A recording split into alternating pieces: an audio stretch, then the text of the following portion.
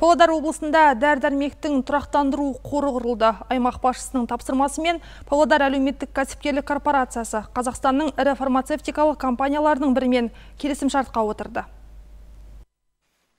Облыс дәріханалары дене қызуын түсіретін дәрі-дәрмекпен, вирусқа қарсы препараттармен, сондай-ақ антибиотиктермен қамтамасыз етіледі. Келісім бойынша келесі аптаның бірінші жартысында дәрі-дәрмектердің алғашқы легі жеткізіледі деп күтілуде. Денсаулық сақтау басқармасы қажетті дәрі-дәрмектер тізімін жасаған.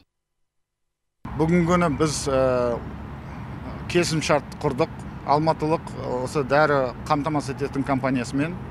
Оның келісімшарттың сомасы 220 миллион 37 дәрілік тізім бойынша оларға бүгінгі күні тапсырма бердік Аймақта дәрі тапшылығын болдырмау мақсатында кәсіпкерлік және сауда басқармасы, тауарлар мен көрсетілетін қызметтердің сапасы мен қауіпсіздігін бақылау комитетінің департаменті және Казметфарм Павлодар облысының дәрігерлері, провизорлар мен фармацевтері қауымдастығы меморандумға қол қойды.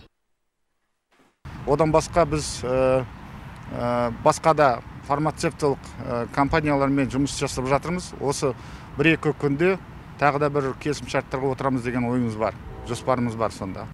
Осылайша дәріханалар әрдайым дәрі дәрмектердің кем дегенде бір айлық қорымен қамтамасыз етілетін болады. Айгүл рахымжанова ертіс ақпарат.